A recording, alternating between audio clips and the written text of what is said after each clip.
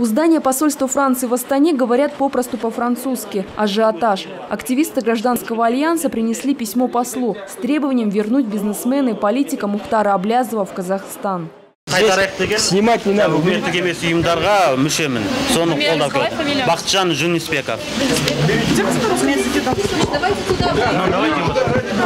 Под письмом значится 43 фамилии, указаны должности и названия организаций. Но самих реальных подписей нет. Ногами к посольству пришли всего несколько человек. Граждане отвечать на вопросы отказались.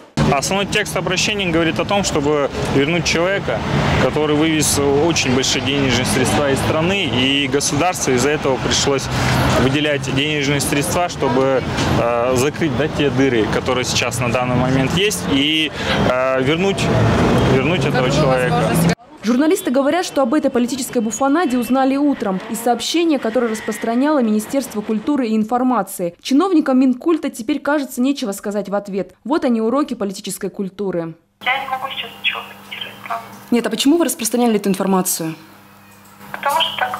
За несколько часов до этой акции заместитель министра иностранных дел Казахстана Кайрат Сарыбай дежурно заявил, что еще не состоявшаяся экстрадиция Мухтара Аблязова в Казахстан никак не испортит отношения с Евросоюзом. Исключительно правовой вопрос вдруг принимает э, в той или иной э, форме э, вопрос политического характера, э, там, снижение отношений между странами, это, конечно, в основном мы расцениваем как усилия э, недругов э, развития наших отношений с Европейским Союзом в целом.